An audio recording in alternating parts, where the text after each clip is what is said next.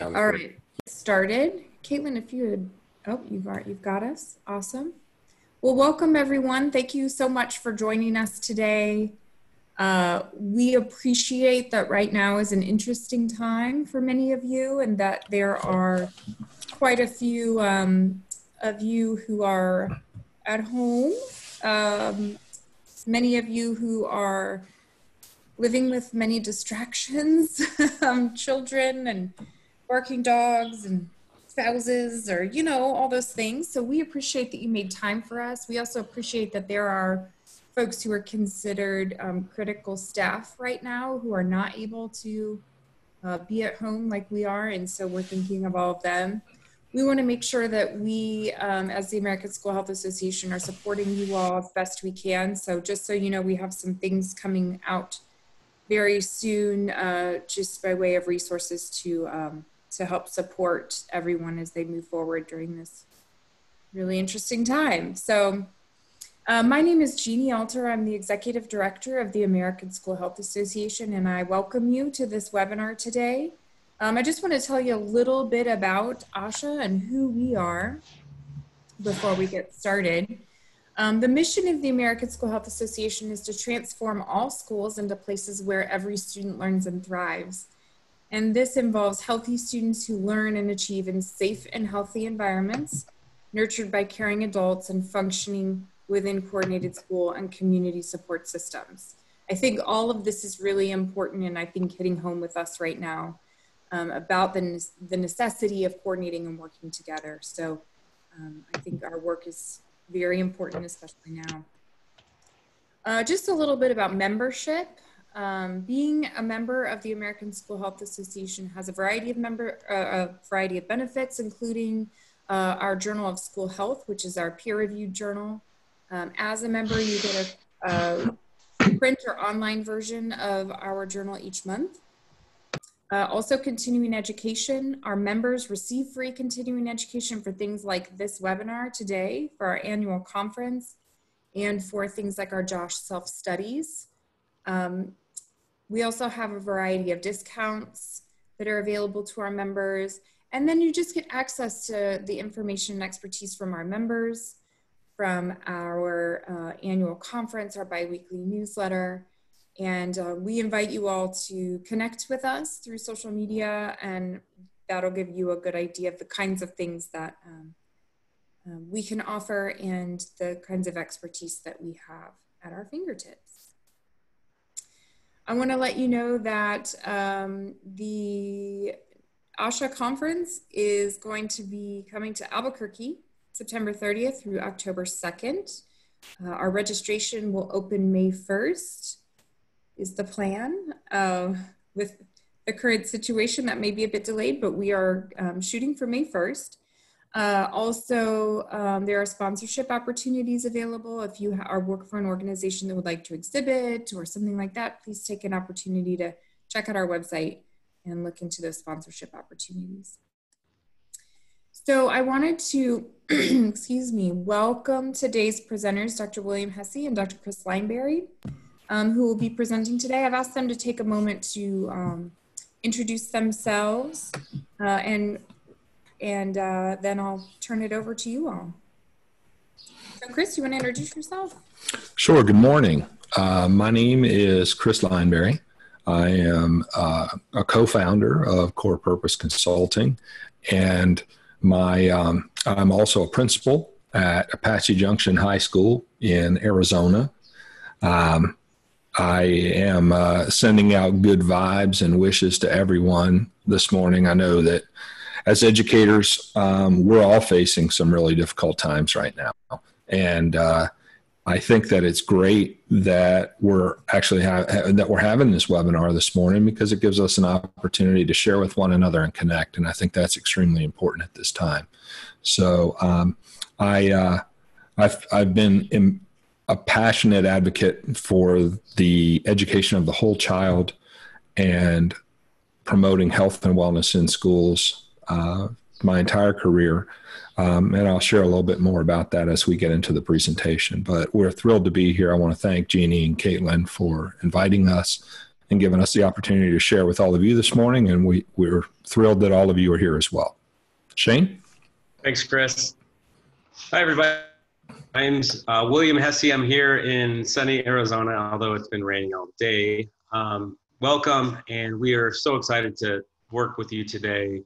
Um, my background, uh, former professor at Arizona State University, designed their healthy school curriculum for, for them, uh, current wellness champion and co-founder at Core Purpose Consulting, uh, where we are going to show you our ultimate guide to healthy school design and implement, implementation today. So welcome, uh, Jeannie and Caitlin, thanks for having us. And we look forward to working with you for the next hour. All right, so I'm going to start and share my screen. So give me just a second to get set up here. And I'd like to add that if any of you have any questions, feel free to type those in the chat box.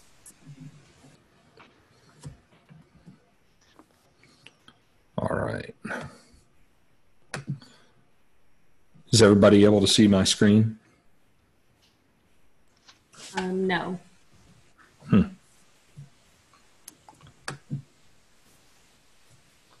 It helps if I hit the share button um, first so that you can see my screen.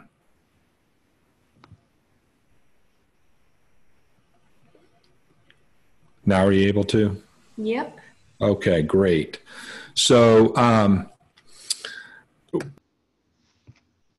the title of the presentation was um, and, and has been in a lot of different areas where we've done this the how to run a four minute mile and um, the reason we we say that is in 1955 it was considered to be medically impossible for a human being to run the mile in under four minutes and uh, i can tell you that today for me it's still medically impossible um, to run the four minute mile.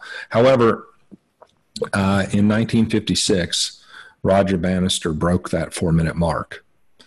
And they actually told him that in order to break the mark, if somebody were to go under four minutes in the mile, they would die. So after he did it, he was laying on the ground and they ran over to him and he asked them if they were angels um, because he thought that he was dead. Um, the, the importance of that is that in 1956, Roger Bannister became the first person, and that same year, 17 other people broke that mark.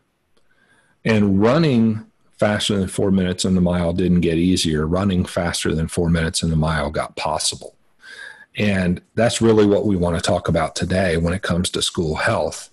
That there have been others who have come before us who have been able to incorporate health and wellness into school and if it can be done in one place, we believe that it can be done um, everywhere else. So, if you would just take a moment to um, clear your mind, this next slide should be blank. And uh, if you would close your eyes for just a moment.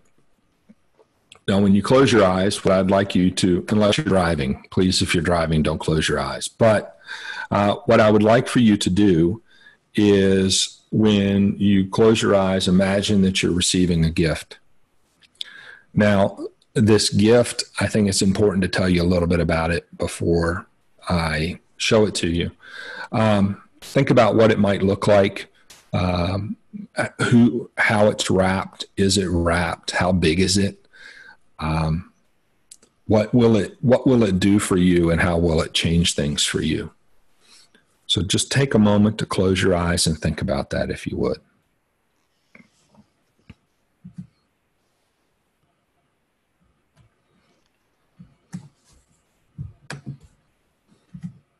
Go ahead and open your eyes. Does anybody know what that is? Uh, I can't hear you, but my uh, I would imagine or hope that many of you would realize that that is a Tiffany's box. And uh, unfortunately, um, that is not the kind of gift that I can give you today. As much as I would like to send all of you a Tiffany's box uh, with something in it from Tiffany's, even better. However, this gift that I'm I'm talking about, the day that I received it, came to me smaller than a pinhead, and had the ability to change my life in ways that I never expected or, or had thought possible. Um, it caused me to rethink my reality. It caused me to rethink my purpose as a principal, as an educator. And it's given me the ability to, or the opportunity to be able to talk to school leaders across the country. When I received this gift on January 6th, of 2006, this is what it sounded like.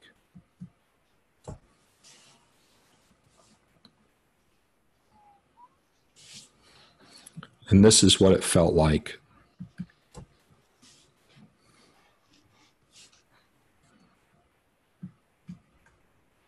And this is what I almost lost.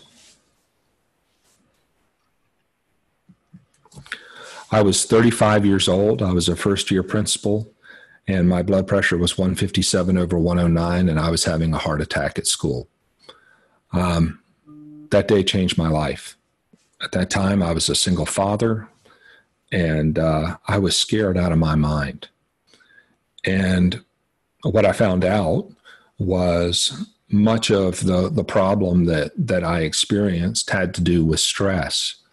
And if you work in a school, I think we can all agree that schools are stressful institutions, especially especially right now. Um, I think just being a human being right now is a bit stressful for many of us with uh, social distancing, et cetera. And we're all in different states and we all have different things that are happening in our states, but we all have the commonality of caring about kids, caring about their well being, and loving and caring about our families and ourselves. And uh, the day that I had my heart attack changed me. When that happened, um, I decided that I needed to relook at my purpose as an educator. Um, for much of the time, I was very concerned about test scores, very concerned about um, making sure that my school letter grade went up. And it did, but it took a toll. And what I came to realize as a result of this was I really needed to reevaluate my purpose.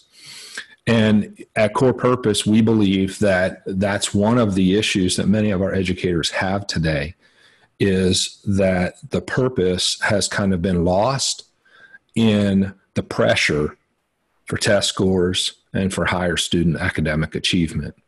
And in the process of doing that, I think we've lost a lot of our effectiveness, um, as well as caused teachers to burn out, administrators to burn out, um, and health problems for people because they're not taking care of themselves. You know, if you go down the hallways in your mind of your school and you look at the um, the the physical health and well-being or mental health and well-being of your teachers i know that as i do that i see many teachers who are stressed out beyond belief, many who are exhausted, many who are not physically taking care of themselves. And it's not because they're bad people or lazy people, it's the exact opposite. They care so much and they work so hard because they want to do a good job for their kids.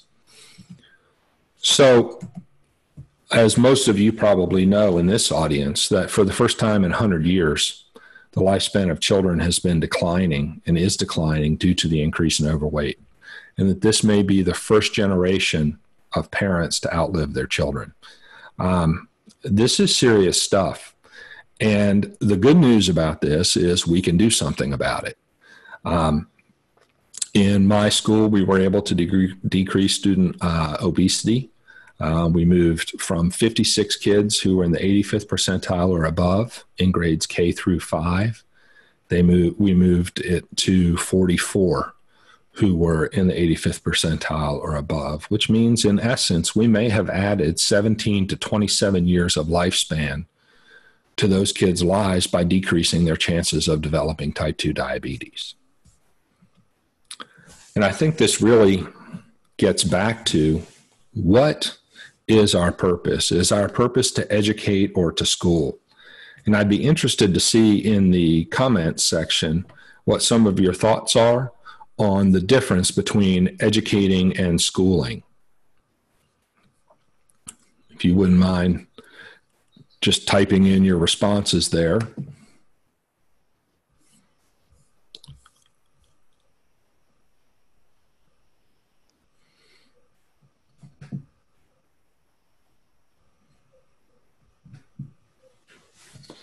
And I can't see my chat, ladies. So if you might be able to help me, that would be great with some, what some of the responses are.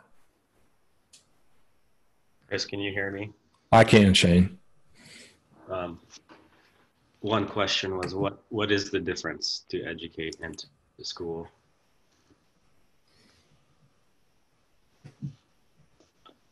Another one believed that education um, to educate is to educate everybody.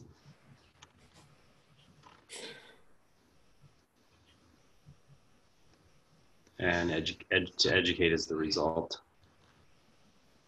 Um, educating is for a lifetime, makes a lifelong impact. Right. And, and what is schooling?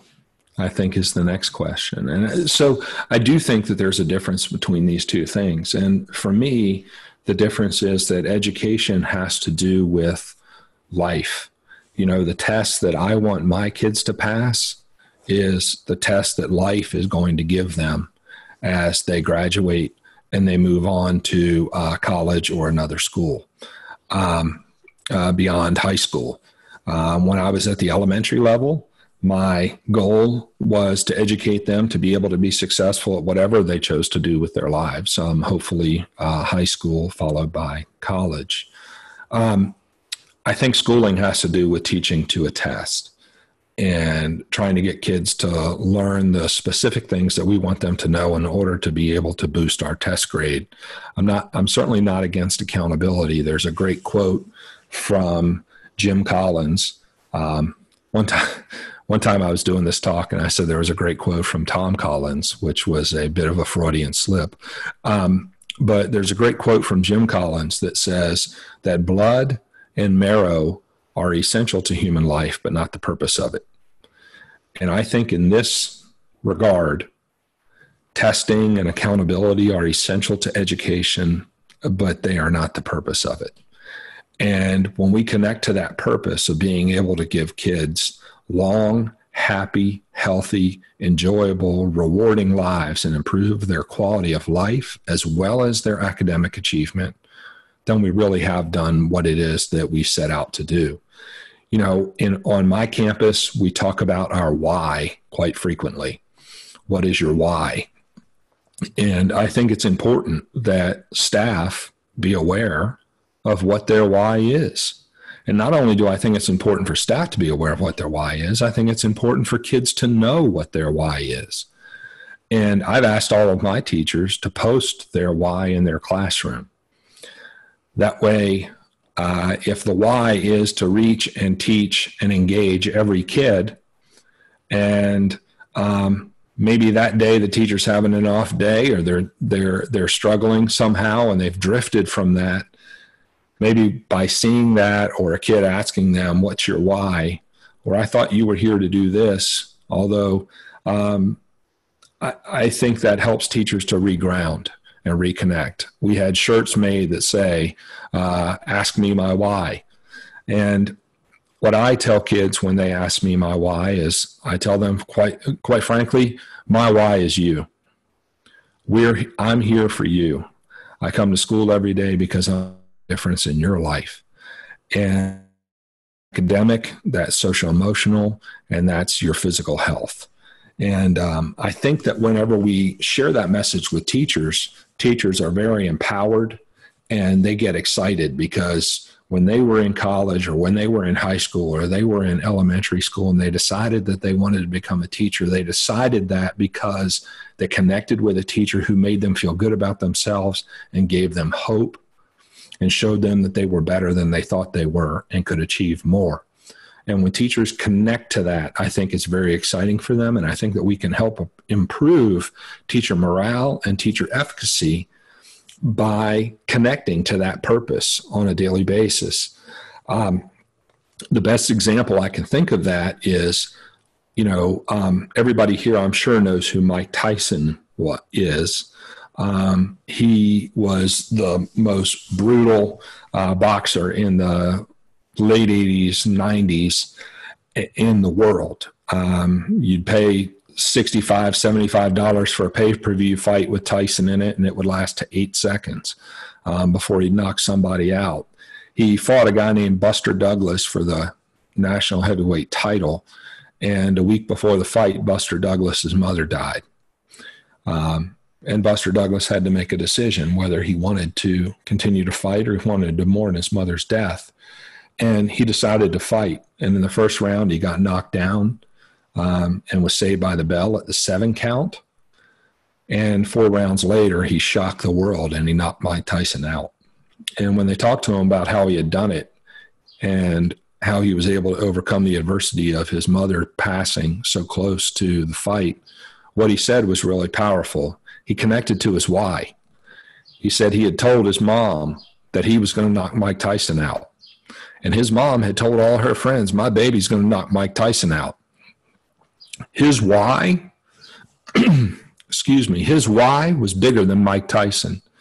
And I think that if our why is bigger than our obstacle, there's nothing that can stop us. If our obstacle is bigger than our why, then I think quite often the obstacle wins. So we got to give teachers a big why and help them to connect to that. Um, one of the things that we're trying to do, and I'm going to let Shane talk about our uh, our healthy ultimate guide to healthy schools here in a second. But one of the things that we're doing in um, here in North Carolina, in Arizona, I don't even know what state I'm in anymore. Uh, here in Arizona, is we are um, we've created a podcast, and uh, that podcast is called um, the Prospector's Pickaxe, and I'm I'm trying to pull it up right now so I can show it to you.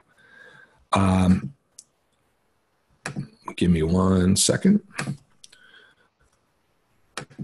All right, so this is the website for the Prospector's Pickaxe, and what what you'll see here is a number of different um, interviews that that I've been lucky enough to be able to do with some really incredible people.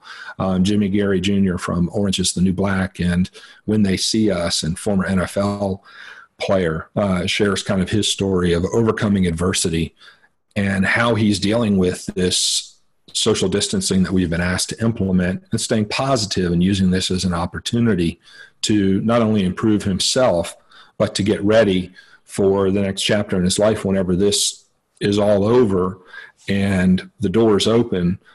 Are we going to be ready? And what, what I talked about in the first one that we did was building a strong house. And, uh, you know, there's a book called Chop Wood and Carry Water where the, the author of the book um, it's a fable about two men who uh, a, man, a young man who goes and becomes a, wants to become an archer, and one of the first tasks they have to complete is building their shelter. And as he's complaining about it and he's building it, his teacher says to him, "You know, every day, what matters about today is the process you're engaging in and who you're becoming. And every day we're building our house." Every day we're building our house. You may think you're building it for your family, you may think you're building it for your team or for your school, but every day you're building your house. This is an opportunity with the social distancing and reconnecting to our family, slowing down to the speed of life, that we can shore up that foundation that um, th- that that holds our house up, so that whenever this is over, we can come out bigger, badder, stronger, and uh, more able to serve one another than we ever have before.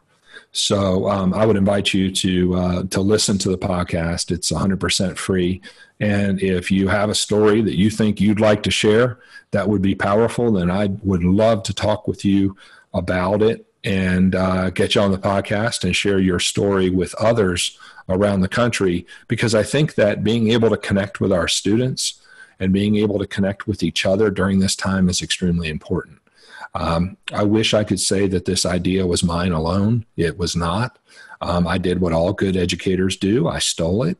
a friend of mine who is a principal in our district, Pat Smith, read a bedtime story on Facebook to her kids the other night uh, on Facebook Live. and she got tons of positive feedback. And I thought, well, how can I reach out to a high school group and maybe build an online community in our community and in the community of educators throughout the country? So my goal is to be able to share stories and experiences and how we're getting through this difficult time because it does not look like it's going to be ending anytime soon. And we have to make sure that we're taking care of ourselves. So, with that, I'm going to stop sharing my screen and turn it over to Shane or William Hesse, sorry.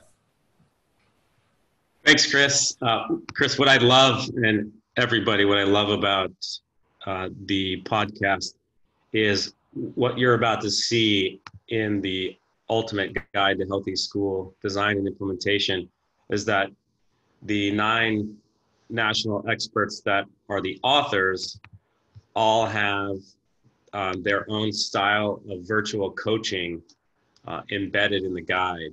And Chris's podcast are one of those um, coaching, virtual coaching opportunities uh, and it really makes it a unique experience for uh, the the user.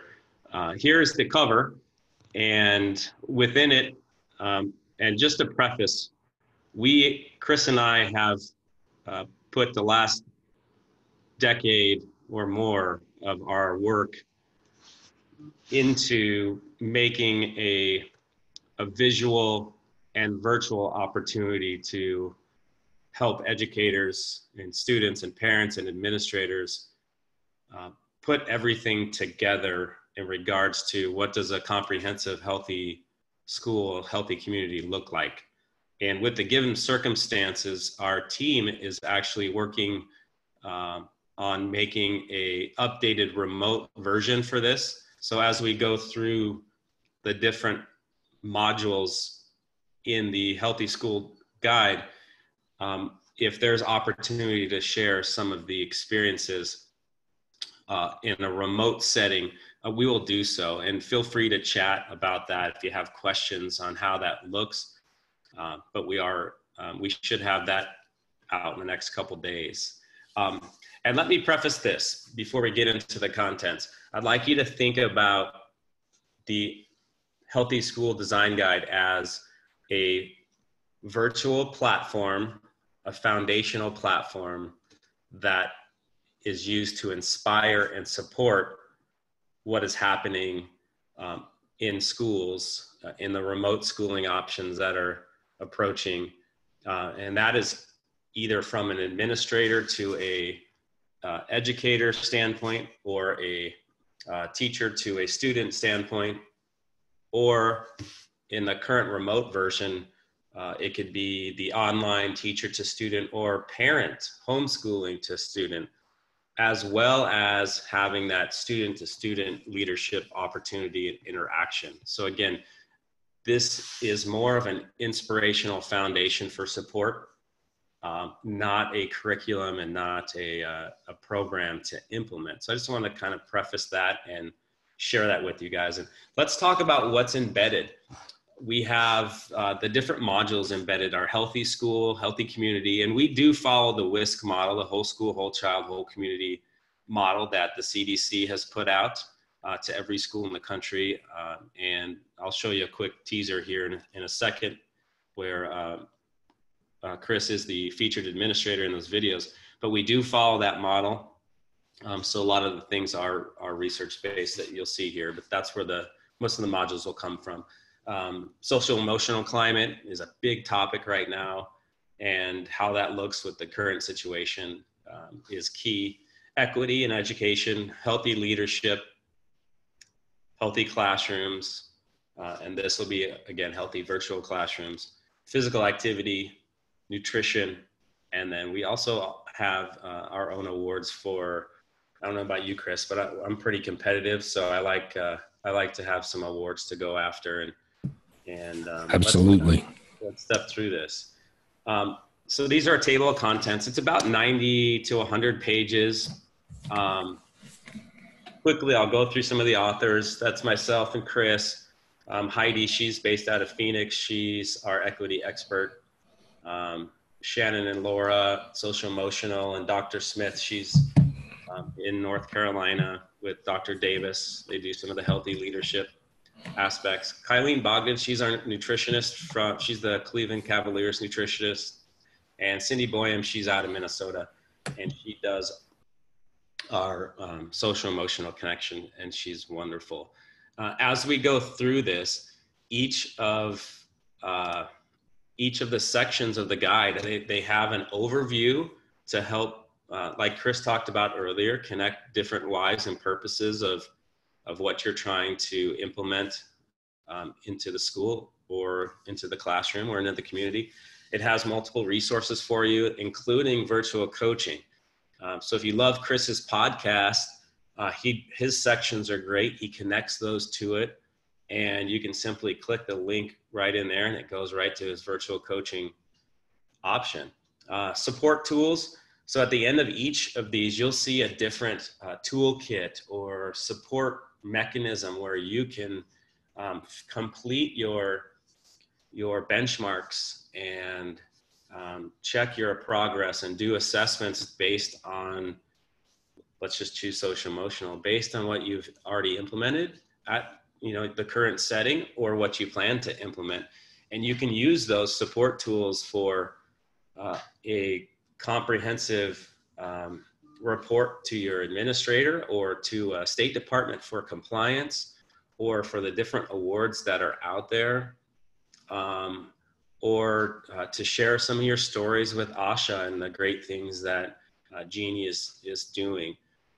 Um, and lastly, the uh, upgrade opportunities. There's always opportunities for professional development with any of our, our nine authors that are embedded. But our ultimate goal, which we shared earlier, is let's let's show you how to increase some academic success, increase student engagement. And um, I don't think we're going to have many discipline referrals going on at this moment, but uh, in the school setting, um, that's definitely something that uh, we help with. So I'd like to share with you as we begin that this this journey through the different modules. I'd like to share with you the foundational uh, teaser from the CDC. Uh, just so you know, we are it is research based. But let's take a look at Chris and. Hey Shane, I found the video that is um, exclusive to Stanfield that I can share. Okay. So go ahead and talk. Sorry about that. And when you're done, I'll share it. Okay. All right, guys. So this is about one minute. And uh, really, the premise is to demonstrate that every school, every community that we have um, is going to have a different approach now more than ever. And let's take a look. We haven't seen this yet. Shane, if you will, stop sharing. Wellness are an integral part of. Stop sharing. Stop sharing so I can share my screen.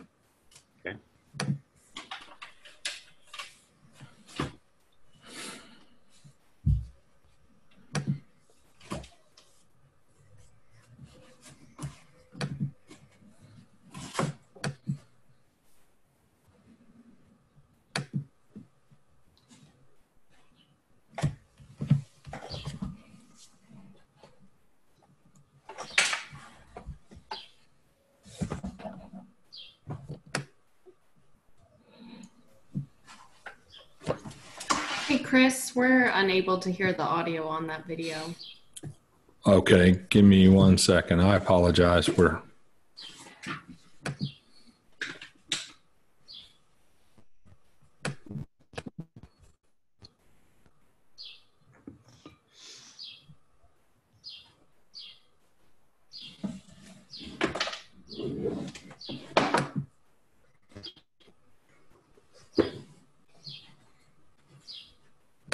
Shane, I'm going to let you share yours. This isn't working. I'll let you share yours. Okay. I think you have to uh, log off. Yeah, there you go.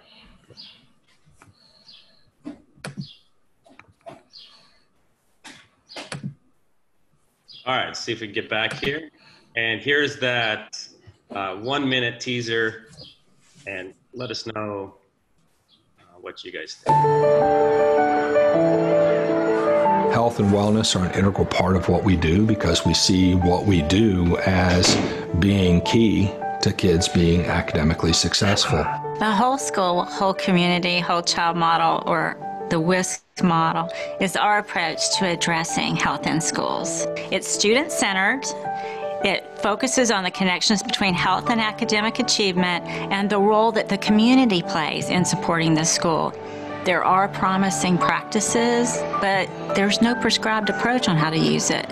It's going to look different in each school because each school is going to determine what their unique needs and priorities are. I really hope that the viewers will be inspired by these stories shared and access the many resources available to them as they try to make their environment healthier for their children oftentimes is that people think we have to decide between health and wellness and academic success.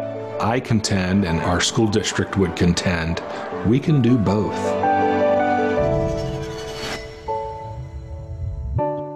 Awesome, Chris. Does it ever get old getting to uh, to watch that?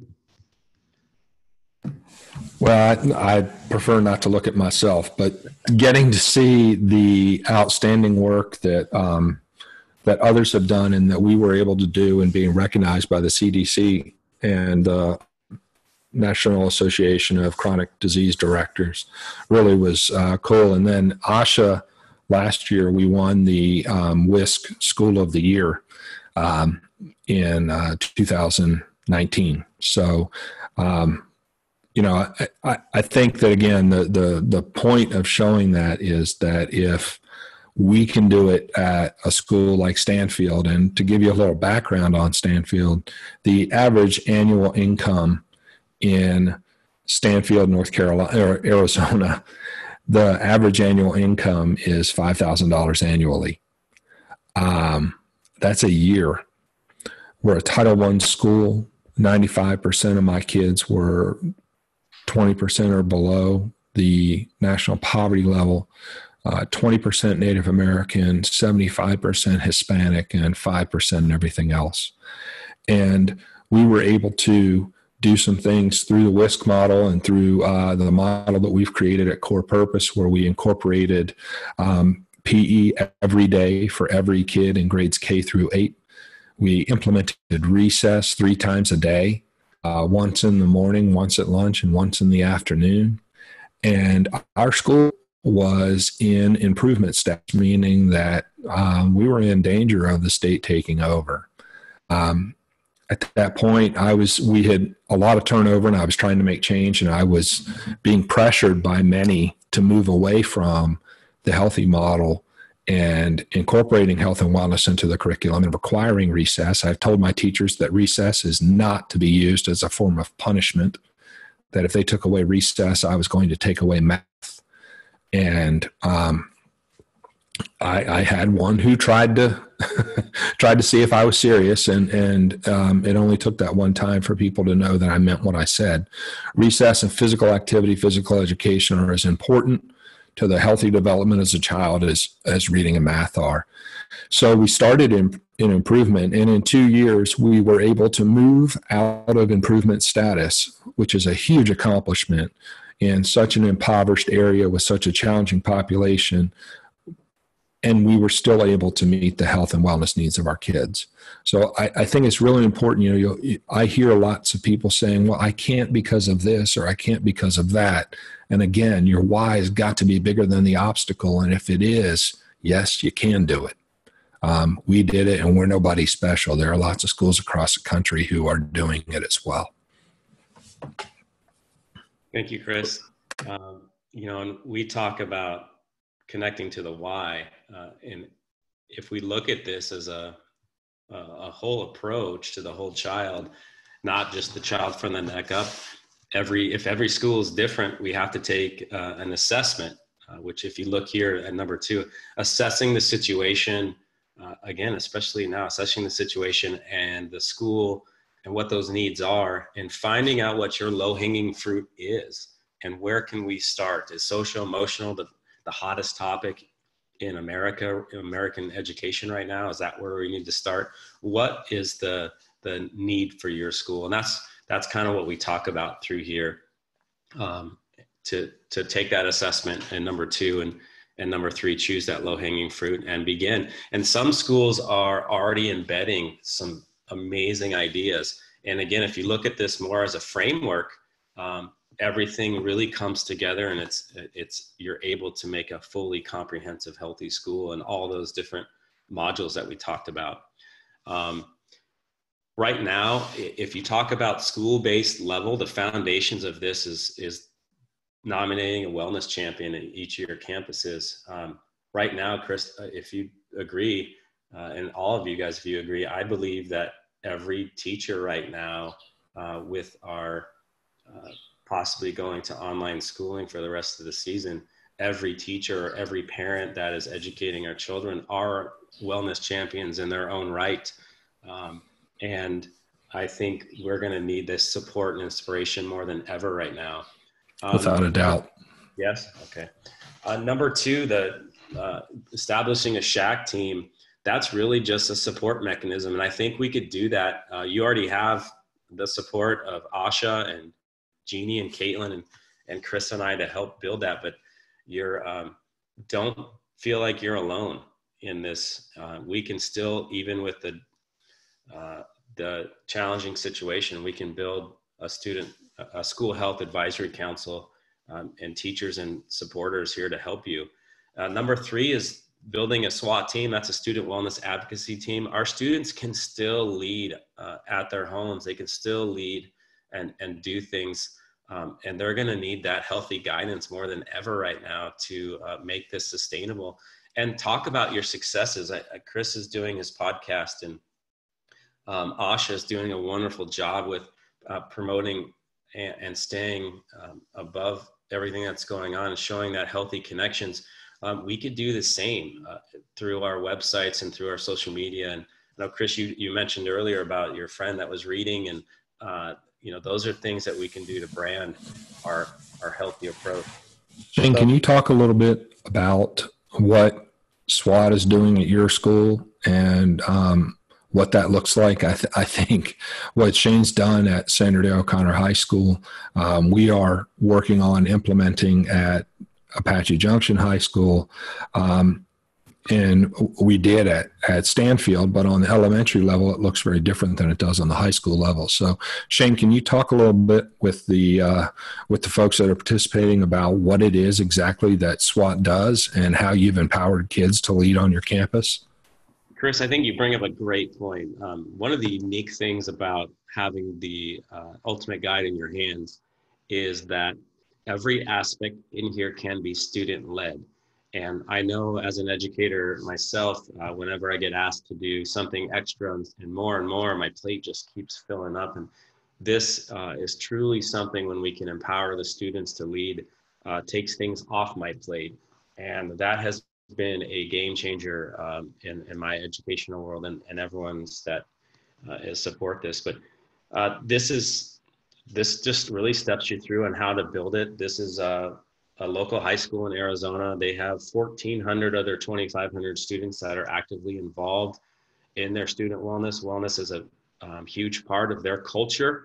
And if we believe culture can drive success, um, this is a, a huge opportunity to do it. I often talk about how um, our administration and our, our teachers um, delineate to our students uh, and try to implement and do some great things. And our students, if they're the, the groundwork of this, I often speak about how they rise up and they connect to our, our educators and our, our administrators um, from the ground floor up instead of you know from the, the top down. And when those two connect when they intersect you really have a better culture increased academics uh, decreased student referrals uh, student engagement and then it really just changes the culture and gives students a reason to come to school. So, and and your kids have done a lot. Like they set up a group that wanted to improve the environmental health on campus and of uh, of Deer Valley and started a recycling program. They've done some things to bring awareness to dating violence and ending dating violence. They've done pregame meal prep. Um, what else, Shane? Yoga, mindfulness and it's all student led, which is really incredible. Yeah, Chris, we're uh, at that school. They have about 57 different projects that uh, work uh, in the different 10 dimensions of wellness, uh, trying to improve culture. And it's not just at their campus. They their student leaders. Uh, I know we had taken students over to Chris's school and to different high schools, and those leaders have worked back and forth. In fact, even in the current situation, the students have still been using their social media to connect um, to make sure that the health and wellness is still maintained. Um, if not, um, it's even more important. So uh, it's a great way to connect uh, your your stakeholders and, and change culture, whether we're online or on campus. I think uh, SWAT is, a, is an awesome opportunity uh, to implement, and that kind of helps step you through that. I do like to share. Uh, I know our if we have any anyone in Nevada right now, they they coined the the phrase swag instead of SWAT, Student Wellness Advocacy Group, because they felt swag uh, was a uh, was a, a more the, that word connected with them a lot more. And it doesn't ma- what matter what you call it, it's, it's the principle of it and and the why. So. Um, as we continue through this, I think we have about five more minutes until we're going to open up questions. So I want to kind of step you through some of the other modules. But this uh, healthy work site that is for your staff and student or staff only.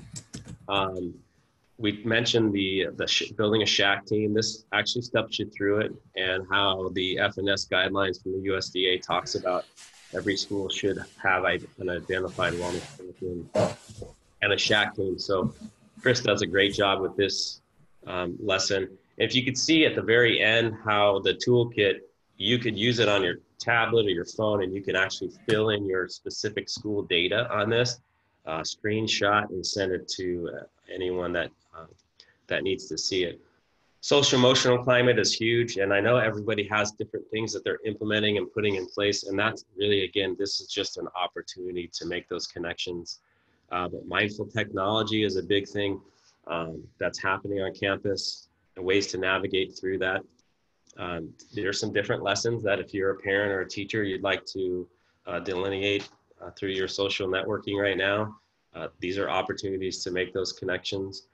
Um, Cindy does a great job in our coaching videos and really just making sure that language is the same between our administration, our schools, our students, our staff, and our parents is a big, big thing. Uh, Chris mentioned a mindfulness room, and our uh, SWAT students won the Arizona Shark Tank that came in town, and they won the first mindfulness room in Arizona since other schools have been doing it, and they've had some great, um, great feedback. It, it basically it's open as long as the school is open. The mindfulness room is available for uh, community members and students and staff, and it's it really has uh, shaped our our culture um, if a student needs to be released from a, a school setting for whatever reason, they can take their five minutes or whatever they need to to be present. And sometimes that's very important when you're trying to have conversations that may be escalated um, or they may be dealing with some things outside of school and those pressures.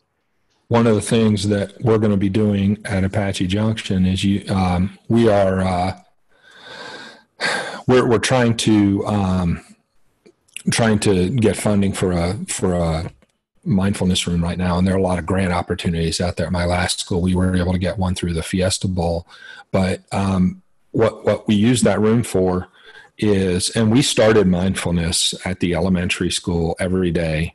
Uh, we did mindfulness for ten minutes every morning to start our day. And uh, I have teachers who swore by it, first grade teachers who said, if I don't do it, then I'm in trouble. Um, and they saw a significant difference in student uh, behavior as well as um, student discipline. Um, additionally, so at, at, Apache Junction High School next year, we're hoping to be able to use a mindfulness room in conjunction with what we would typically call uh, resilient or ISS um, to be able to have kids be able to come in, do um, some time, spend some time getting quiet and getting present and then reflecting on whatever it is that brought them there and then being able to go back to class instead of sitting in a classroom for the day and missing instruction. Um, I think it's a, a, much more powerful way for us to be able to address student needs and uh, help them to, to learn how to self regulate and uh, connect to themselves. Chris, it sounds like uh, resiliency is a huge um, topic at your school. Is that is that true? Yeah, you know, I think resiliency right now is um, my son's sticking his head in here. Sorry. Um, I think resiliency right now in schools is extremely important. It's important as a society, and it's important for our kids. And um, what I have seen is that quite often we have kids who are very resilient in life, but when it gets time for school, that resiliency may fade because for so many of mine, it seems like so much of theirs is used in just everyday life. So um, we've done a lot of uh, work as a school of building a growth mindset. Of it's not that uh, you haven't, you can't do it. It's not that you know. I there was a, a guy George Kiley who was a uh, superintendent in New York State, and George changed the entire grading system K 12 to be A, B, C, not yet. Instead of D or F, not yet. And um, I, we're not there yet at my at my school, but I do think that building a growth mindset of you can do it, um, you just may not be ready yet, is extremely important for building resiliency. And we talk about resiliency quite a bit in the uh, in the podcast. That's awesome. Thank you, Chris. And for our viewers, the last I was flipping through those slides. That is our healthy leadership section. Um, Dr. Davis out of North Carolina and Dr. Lineberry both um, were are the authors of that section, but really help connect uh, whether we're in a remote uh, situation or on campus, the ways that our um, our leaders can be can have this healthy approach, whether it's the administration to the teachers or the teacher to the students, or again, the students to students. It's a great section to, uh, to really engage our students and, and become student leaders and, and vice versa. But it's shaping that, that healthy mindset. Um, I'm going to flip through these fast because I think we're about out of time. so if you guys would think about some questions you have, I'm going to go through the last couple modules. Uh, healthy classrooms, that is basically your movement driven learning. Um, this is something we designed over at ASU and made these connections. There's three levels. We have many templates in there for your, your teachers. Uh, the minutes out of your seat contest, uh, it's, it's a way to, it's, if, again, if you're competitive uh, like myself, it's a way to uh, compete against other schools, other teachers, and connecting health and, and physical activity in your lessons, no matter what grade you're in, no matter what level you're at. Um, and then the classroom design, just designing that classroom to fit the opportunity to embed physical movement uh, uh, and health opportunities into your lessons. Physical activity can be done uh, remotely. We can, I know there's a lot of resources out there that we're going to help connect physical activity with. Um, Chris talks about recess programming for our K 8 schools. And then we started at the high school level what's called a healthy hour. Um, so whether it's before school, during school, or after school, or in a remote setting, uh, we can still build hope. We can still build engagement for our kids and show them that the physical activity and the health and the social emotional climate is more important now than it has been ever.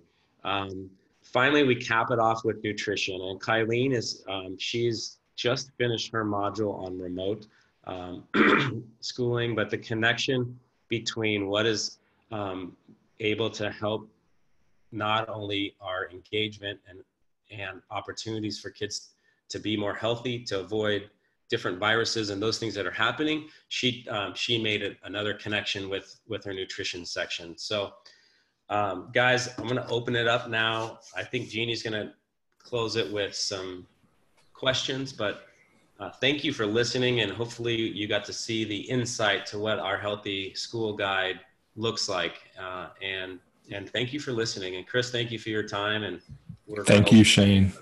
I'm going to stop sharing my screen uh, and see if this works. But let me see. There's a couple of questions that um, maybe you could you could take a stab at. Um, Is there any work being done around sexual and reproductive health? Um, in Arizona, we're basically we're very limited in what we can do there.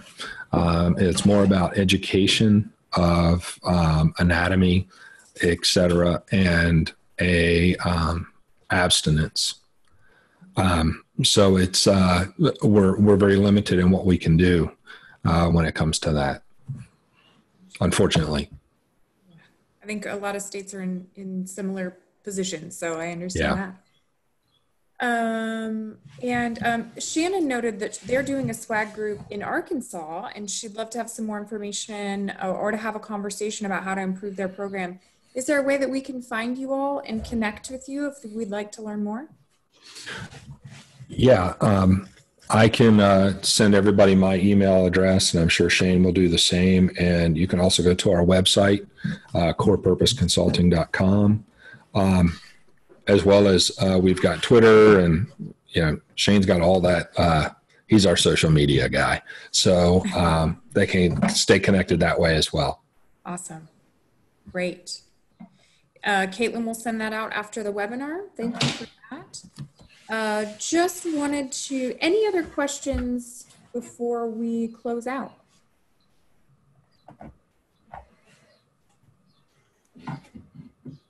I'd just like to add, Jeannie, uh, thank you Yeah. guys. Thank you everyone for being resilient yourselves. And we, uh, Chris and I, we're, we're in Arizona, but we're in your hearts, number one, and we're here to, to volunteer our time and help uh, in this situation, still connect our, our health and, and wellness um, advocacy to you guys uh, to help promote that and continue this. Again, in this time, we need it more than ever. So thank you guys for everything. Thank you, Jeannie and Caitlin. Absolutely. Absolutely. Yeah. We appreciate you being here. We appreciate your time and uh, especially with things being a bit hectic right now. So, and we're glad that we got to see your son's little face there. Just for a minute. well, I, I'd just like to close with one comment that really hits home for me, and that is that um, kids make up a small portion of our population, but they make up 100% of our future. And they're counting on us right now to be good examples and to show them resiliency and grit and the ability to um, to to overcome adversity and navigate through difficult times while taking care of ourselves and each other. So be well, everyone. Great point. I'll hit the treadmill after this. Um, thank you so much for your time. I want to let folks know that we have some other webinars coming up. You can always check our website um, for our full uh, list of scheduled webinars. Um, for that question um, about how about sex education, we have the updated national sex ed standards that's coming on the 8th of April. So please take a minute to, to check that out. Um, I also wanted to remind everyone that this uh, webinar is eligible for um, continuing education through NCHEC, and you can also get a participation certificate if you have a different credentialing body that you'd like to submit to. Um, for those of you who are ASHA members, either of those are free. If you are not an ASHA member, there is a fee for those, but you can also join and get those for free. Um, if you would like to um, receive continuing education, you'll fill out the evaluation that Caitlin is going to place in the chat box. So you'll just click on that and, and fill that out very quickly. And again, please um, think about joining us in Albuquerque. I know travel seems like a far off dream at this point. Um, but, uh, and also feel free to reach out to us through our website. Um, give us a call, connect on social media. We really thank you for being with us today, and we appreciate all the work that you all are doing during this really critical time. And thank you, Chris and William, for your time today. It was Thank you. tremendous. And thank you, Caitlin, for all of your uh, background support. It's been invaluable. Thank you, Caitlin. Thank you, Jeannie. Thank Thanks, you, everybody. everyone. Have a great day. Stay healthy. You as well.